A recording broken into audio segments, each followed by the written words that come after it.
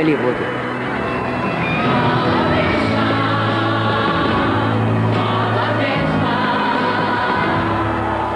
Игорь Полевода наближал белорусский мелос до европейскости, тому, что он был высокоадукованным, таленавітым майстрам сваёй справы. У той час, калі ён жыў, калі ён быў, калі ён працаваў, а, процветали мелодисты, мелодисты, которые писали на, а, на этот день, на хвалу партии, на хвалу ураду. Игорь Полеводок працаваў на вечнасць, таму што ён адчуваў, што яму вечнасцю адмежаваны малы час, і ён паспеў многае. Так само, як і Максим Богданович. Я некалі пісаў Игору, Игорь Полевода, родный песни воевода. Слыхали ли вы дыхание вечное, Галактик вакуумный накал, Признание звезд, слияние млечные? А я слыхал, открыт ли вам посеребренный Мир странных снов, как манускрипт, Межзвездной пылью освещенный, А мне открыт. Полеводой называли человека, который, как говорят, прошел огонь, воду и медные трубы, способен на великие дела и может даже зажечь воду. То есть жги вода или пали вода. В 50-м ему только родился, в 52-м ему было два года. Мы снимали комнату где-то там в районе товарной станции. У меня э, пианино стояло в комнате, я много занимался. А он еще, так сказать, подходил к пианино и, не глядя там, что мог достать над головой, уже подбирал какие-то созвучия. Что его талант был ясен с самого начала музыкальный, поэтому у меня не было никаких сомнений, что его, так сказать, дорога жизненная – это музыка.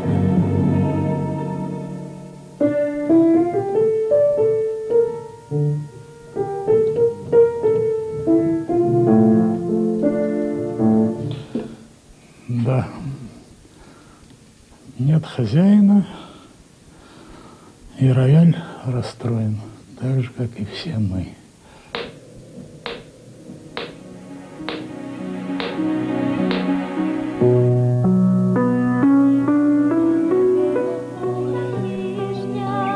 За мяжою быцця недаступная вечная тайна, валадарства багоў і бяссоння завейнай начы, старадаўні раяль, не маўчы так зацята адчайна. Старадаўні раяль, калі ласка, хоць ты не маўчы, адгукніся ў цішы на мае знерваваныя словы, чыстым гукам сваім над самотай плакучых бяроз. Ён пазнае цябе і пачуе бязмежжа вясновым і усміхнецца табе з вышыні сакавіцкіх нябёс. В тех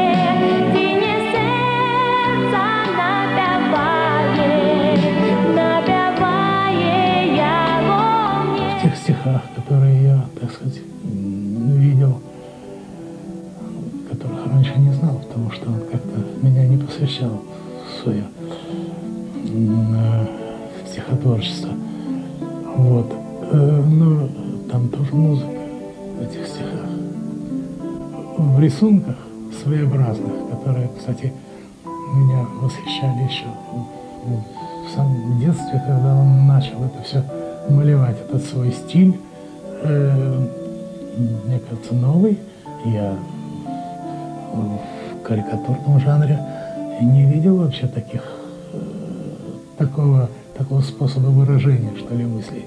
Но я в этом тоже вижу определенную музыку, гармония, безусловно, э, так сказать, там, где настроение, гармония и, и мысли, там у него и музыка. Моем дорожном чемодане среди вороха бумаг, польских детективов, трусов и рубашек есть книга в белом переплете с надписью на обложке «КЭС». Титульный лист расшифровывает эту аббревиатуру. Краткий энциклопедический справочник о планете Галапузик и ее жителях. Если посторонний, несведущий человек возьмется ее читать, то дай Бог, чтобы этот человек не оказался врачом-психиатром. Но труд проделан. На моей домашней полке находится еще несколько подобных книжек. А началось это лет эдак двадцать назад.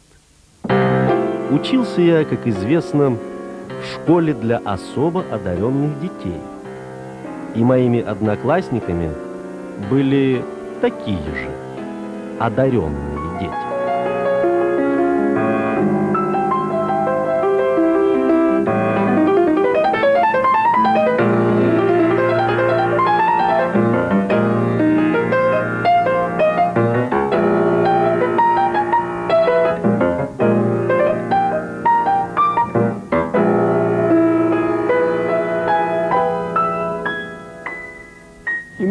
Легко давалось. Он блестящий пианист.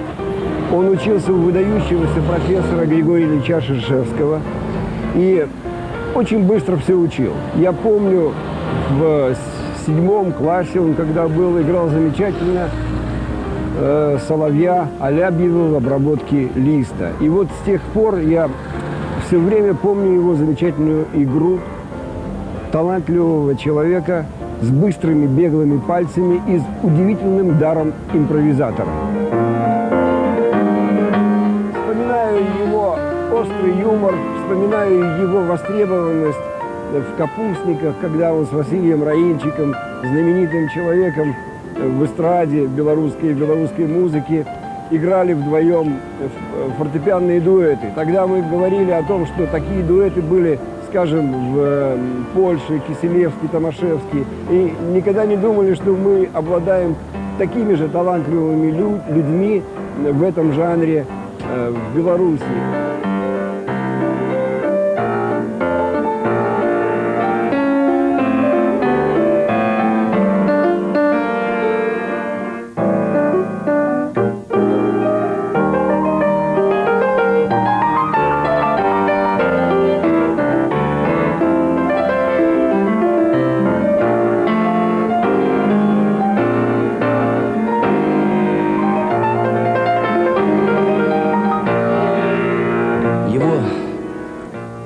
Начинался в музыкальной школе, одиннадцатилетки здесь, на площади Свободы, где он занимался в классе выдающегося педагога по фортепиано Григорьевича Шишевского.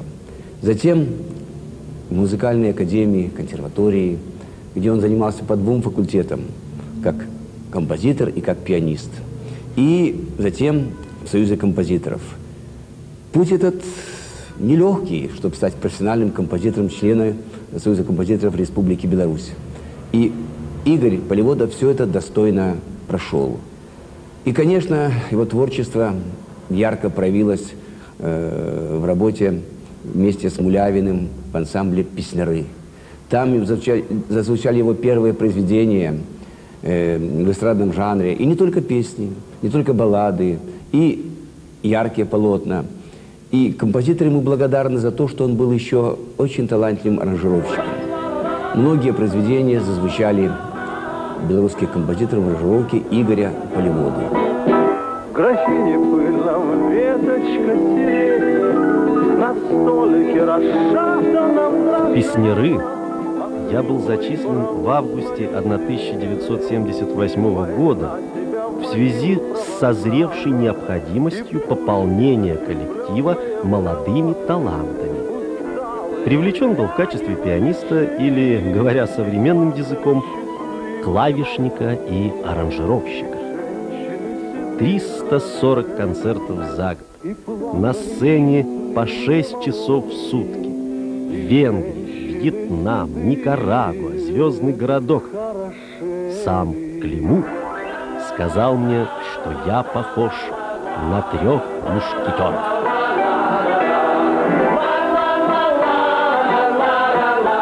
Поливодка, как мы его называли, это действительно был Д'Артаньян. И э, с ним мы объехали полмира. Это великолепнейший музыкант, композитор, аранжировщик. И он у меня как а, особый человек стоит перед глазами, он и сейчас жив, и он сейчас в моем сердце, потому что это уникальнейший человек, интеллигентнейший. Это настоящий белорус, интеллигентнейший белорус, европейский белорус.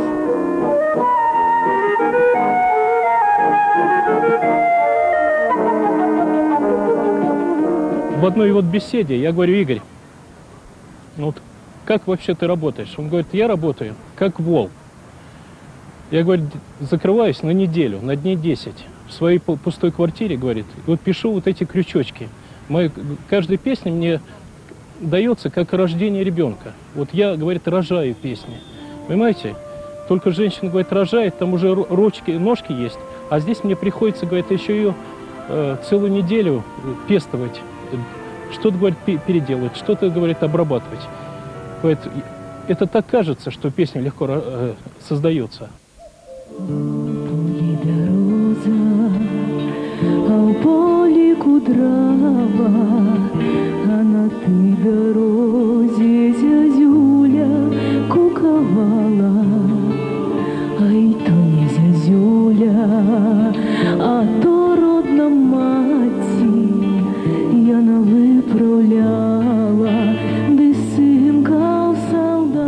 настроение сажусь за рояль и могу часами изливать наболевшие, накипевшие, набухшие и перезревшие в вольной импровизации.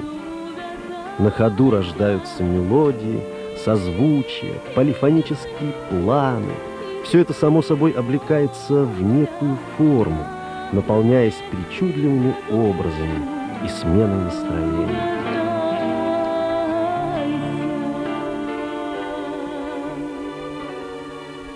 Ён пісаў на дзіва меладычныя песні, дзе панаваў беларускі дух.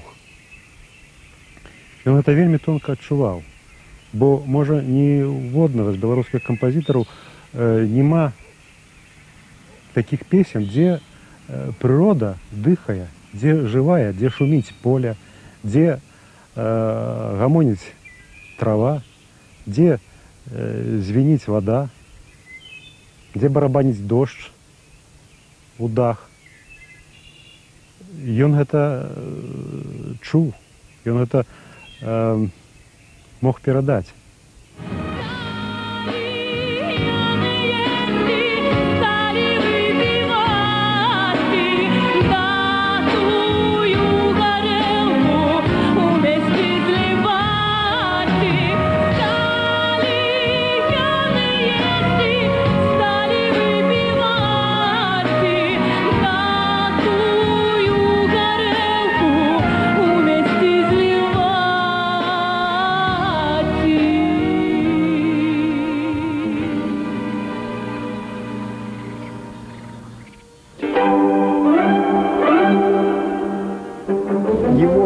острота, темперамент и изысканный ум музыканта, хорошо воспитанного в классической музыке, мог и пошутить над известными всем популярными песнями. Так возникла, например, свита Раймонда.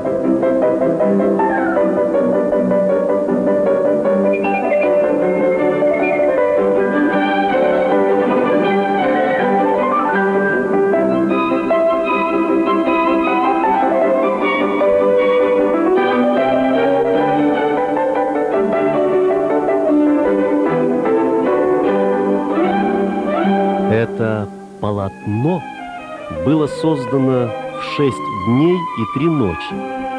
Так ты невообразимой смеси известных мелодий. По написании произведение было немедленно подвергнуто исполнению. Переполнившая залу уважаемая публика аплодировала стоя, заходясь в криках «Браво!». Такого фурора давно не видел наш концертный зал. Даже осыпалась штукатурка. И там теперь придется делать ремонт.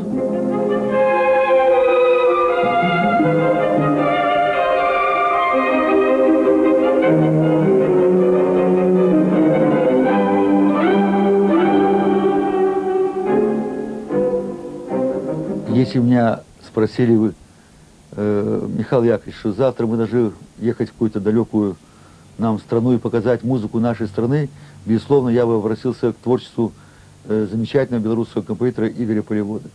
Его песни действительно стали символом нашей страны.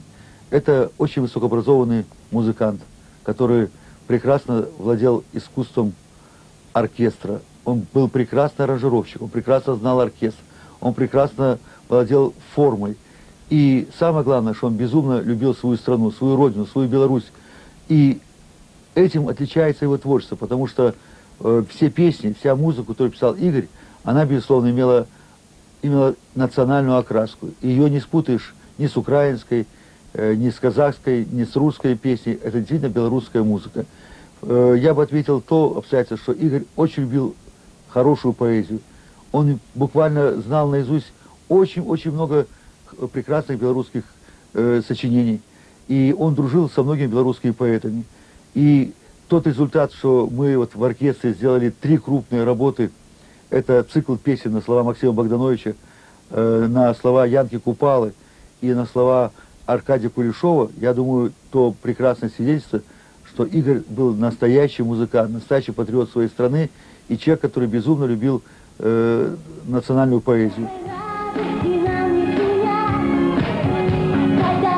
И все-таки не там ищу вдохновение, не там. Сижу в молчании наедине с бутылкой огненной воды и тупо смотрю в голубой экран.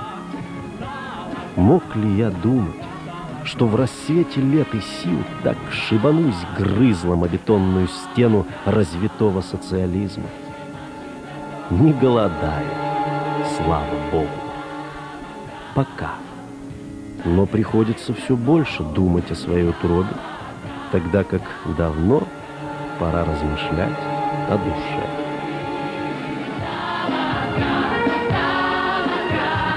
Я считаю его настоящим народным артистом, настоящим народным композитором, потому что музыку, которую написал этот человек на замечательную классическую поэзию э, Беларуси, я думаю, она будет жить всегда вечно. И сколько я буду работать, сколько будет работать наш коллектив, мы будем всегда работать с этой музыкой. Тому подтверждение последний наш фестиваль в городе Молодечно, где традиционно открывался этот фестиваль замечательной песни, которую написал специально к этому фестивалю с поэтом Леоном Прочаком, песня «Молодечно», и многие другие песни, которые стали уже просто визитной карточкой, музыкальной, музыкальной карточкой нашей страны.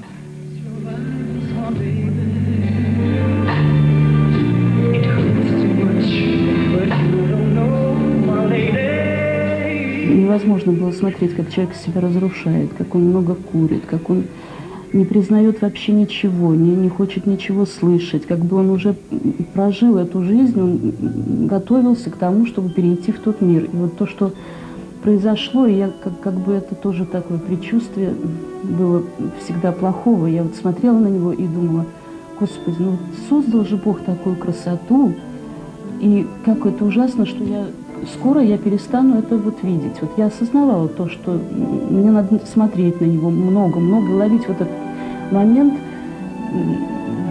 то, что он еще пока жив. Но здесь было видно, что человек как бы прожил за 45 лет, наверное, три таких жизни по 45. Настолько он интенсивно жил, настолько он много делал настолько он не жалел себя во всем. Вот я помню, что мы идем по улице, а он курит и говорит, и говорит, говорит. Я говорю, Игорь, ну тебе же так тяжело дышать, ты и куришь, и говоришь, ты хоть пока не говори. Вот этот воздух морозный. Я буквально слышала, как его сердце хлюпает, хлюпает, вот как, как бы оно с трудом работает. И вот тут диагноз, конечно, который просто поставили врач, вот, который его спасал, он даже мне говорил потом, что я не понимала, почему мы его не спасли. А когда оказалось, что это кардиомиопатия, это неизлечимое сердечное заболевание, это когда сердце, оно растет, и оно становится таким большим, что оно просто перестает работать. И я помню, что были такие времена, когда мы только встретились, и я сразу с первого взгляда влюбилась, как безумная. Я думаю, что это было заметно. А он так покуривал и говорил, Олечка, у меня же большое сердце, но я не могу вместить туда всех женщин. Но на самом деле он вмещал туда не только всех женщин, но вообще всех людей.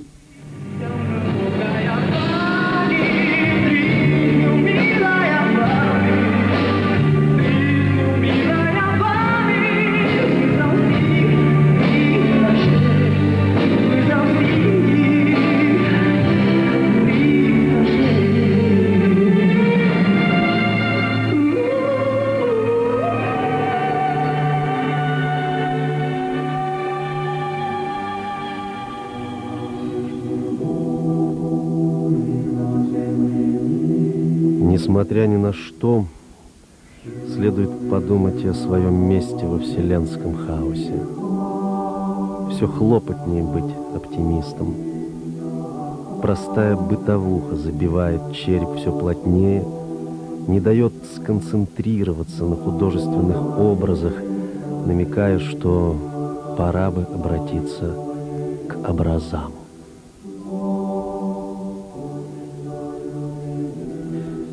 Игорь стал посещать наш приход все скорбящих радости, когда мы молились еще в церкви палатки. Э, естественно, для всякого творческого, э, образованного человека это вопросы, которые возникали при уверовании. Господь коснулся сердца его, и возникли вопросы, кто такой Бог, правильный ли путь э, в православной церкви. И Игорь часто приходил, ждал меня после службы, и многие-многие часы мы с ним провели а, в беседах. Он э, очень ответственно, долго готовился к первой исповеди. Э, насколько это был человек требовательный к себе, э, было видно из того, что он просто не допускал себе. Я его благословлял и даже настаивал, чтобы он исповедовался и причастился но он считал себя недостойным. А, первая исповедь прошла очень искренне.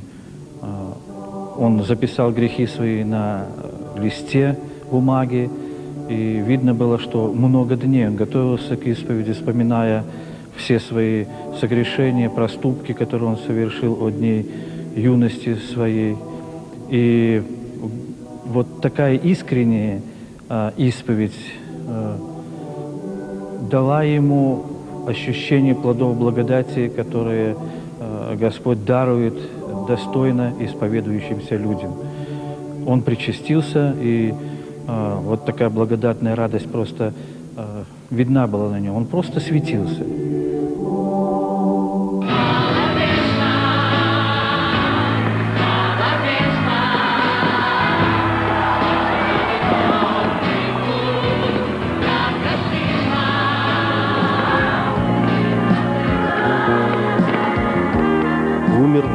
Нищете и одиночестве.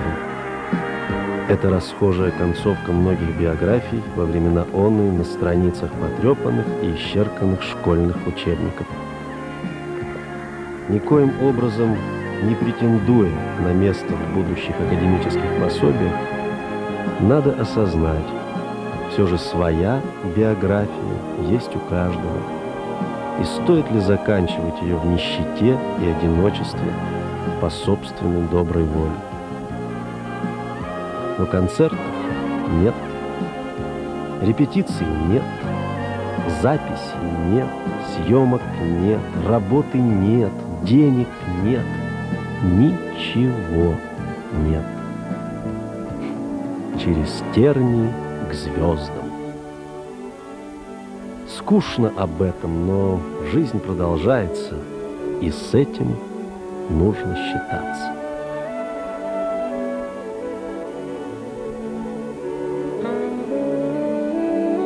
Мне до дому пешком сто часов, От дождя я прикрылся капот. Город спит, а в кармане штанов Лишь билет на трамвай до депо. Остановка пуста, грустно мне И тоскливо в ночи одному С беспризорным котом наравне Пялить глаз моросистую тьму.